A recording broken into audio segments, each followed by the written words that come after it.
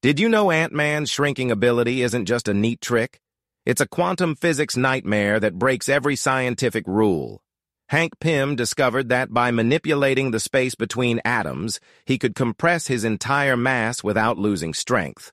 When Scott Lang shrinks, he doesn't just get smaller. He becomes a human-sized nuclear reactor of potential energy. One cubic inch of compressed Ant-Man could theoretically generate enough power to destroy an entire city block. During his early experiments, Pym accidentally created a miniature black hole in his lab, sucking in three research assistants and an espresso machine. The quantum realm isn't just a different dimension. It's a bizarre mathematical landscape where physical laws become suggestions, not rules.